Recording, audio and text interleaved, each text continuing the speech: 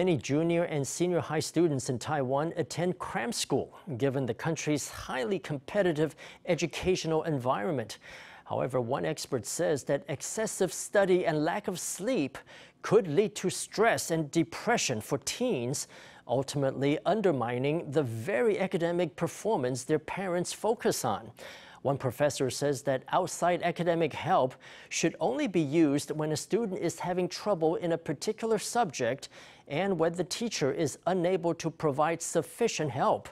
The government introduced a national curriculum in 2019 to reform the educational system. But experts say that parents and teachers also need to be on board to improve the situation.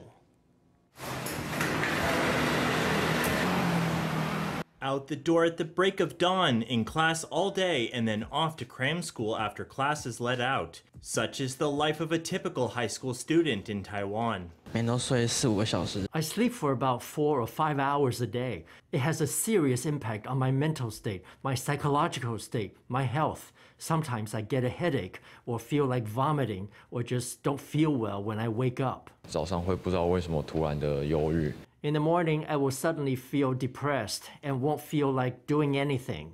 According to a survey by the Child Welfare League Foundation, nationwide an average of 60% of junior high and high school students go to cram school after daytime classes. In cities, more than 70% of students attend cram school, and nearly 25% in cities go to cram school every weekday. 家长就为了要让 为了要安心，就一下子就要求小孩子要补全科。 Parents feel at ease when their children get outside help for every subject. We are not against cram schools, but we believe it should be used properly. When a child is having trouble in school and the teacher can't help them, that's when they should go to a cram school. After a day of classes and tutoring, students still face homework when they get home. That can mean more than 10 hours of study every day and stress that can have a psychological impact. 其实关于忧郁这部分，我们可以说 There are two components of the depression that students experience. The first is the loss of relationships with others, and the second is the loss of achievement.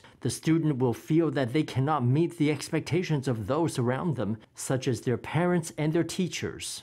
The national curriculum introduced in 2019 was supposed to tackle the emphasis on cramming in Taiwan's school system. But teachers and parents alike have continued to focus on grades and test results. For now, it would appear that Taiwan has a ways to go before adolescents can explore their own academic interests freely.